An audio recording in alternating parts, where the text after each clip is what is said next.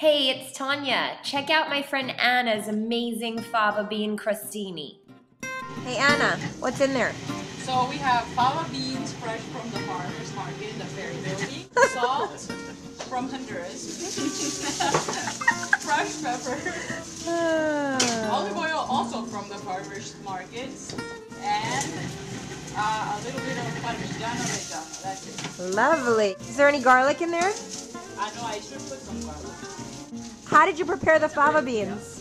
The fava beans I just basically uh, peeled from the pods and then I put them in water. Blanch. So, that I learned. What does blanch mean? Just put them quickly in the water and then take them out. And then you Cold or hot water?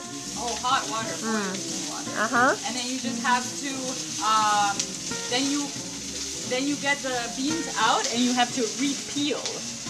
Ah, Yeah. A little bit of work. So a little bit of work. Is it worth it? It's worth it because the fava beans they're only in season in the summer. Ana's good in the kitchen. Woo! Oh, you guys, I try, but I don't have very many specials. No, I love it. So what did you do with that fava bean puree?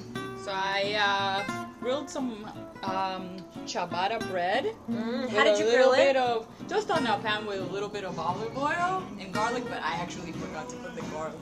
Uh, and then I put the fava bean puree on top. Put a drizzle of extra virgin olive oil. The one from the farmer's market. the one from the farmers market, and then uh, some fresh ground pepper, and the and just shaved some parmigiano. I can't wait. Oh, Ana, it's good. Yeah, that tastes fresh.